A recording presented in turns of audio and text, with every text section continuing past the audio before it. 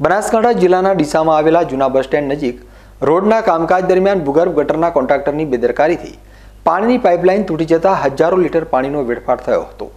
Pipeline તૂટતા કંટાળેલા દુકાનદારો અને સ્થાનિક રહીશો આજે હંગામો મચાવતા કોન્ટ્રાક્ટર સાથે ઘર્ષણ સર્જાયું હતું.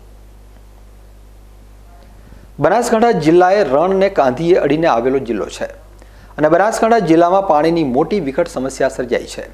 ત્યારે વાત કરવામાં આવે ડીસા નગરપાલિકાની તો ડીસામાં પાણીની કિંમત તંત્ર ભૂલી ગયું હોય તેવું લાગી રહ્યું છે.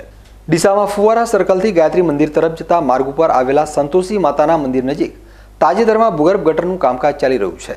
ત્યારે કોન્ટ્રાક્ટરની બેદરકારીના લીધે પીવાના પાણીની પાઇપલાઇન તૂટી જતાં હજારો લીટર પાણીનો વેડફાટ થયો હતો.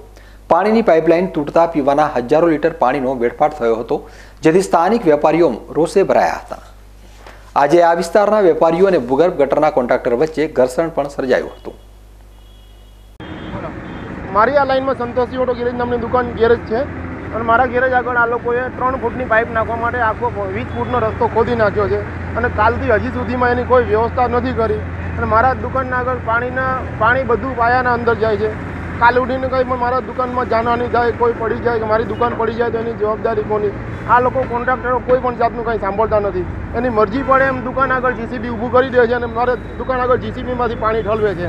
આપ જોઈ પણ શકો છો. હવે તકલીફ જે હતા તકલીફ દૂર કરવા માટે મહેરબાની. ઘરના આગળથી જે તૂટી ગઈ છે પાઇપલાઇન એ રિપેર થતી જ નથી. અને અત્યારે પણ પાણી ચાલુ જ છે. આજ બે દિવસથી એક ધારી પાણી ચાલુ હોય, ગમે એટલું ખાલી કરો, પણ ફરી પાછું પાણી ભરાઈ જ જતું હોય છે. અને એના હિસાબે અમારા દુકાનના ઓટલાના નીચે છેક પાયા સુધી પાણી ઘૂસી ગયું છે. અત્યારે અંદરથી માટી જશે જ જાય છે. અમે ઓટલા ઉપર ઊભા પણ રહી શકીએ એમ નથી. અમારી દુકાન પણ ખોલી શકીએ એમ નથી. આ તાત્કાલિક રીતે બંધ કરવું જોઈએ.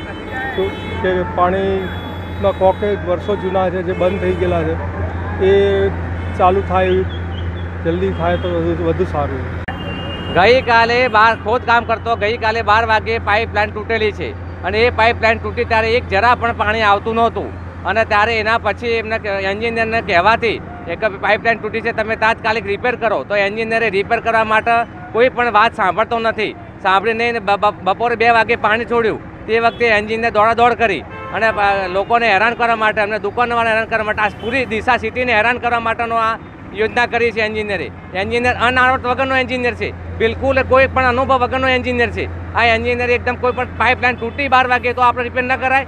તૂટ્યા વગર એ તૂટી એ વખતે રિપેર કરી હોત તો આજે આ શહેરની દુર્દશા ન થાત. ટ્રાફિકની પણ સમસ્યા બહુ થઈ ગઈ છે. ડીસા શહેરમાં પાણીની મોટી સમસ્યા સર્જાય છે.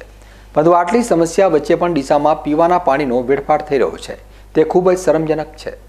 જ્યારે સરકારી તંત્ર જ પાણીની સમસ્યા વેઠી રહેલા ડીસામાં પાણીની કિંમત નહીં સમજે, તો સામાન્ય જનતા પાસે તો શું અપેક્ષા રાખી શકાય?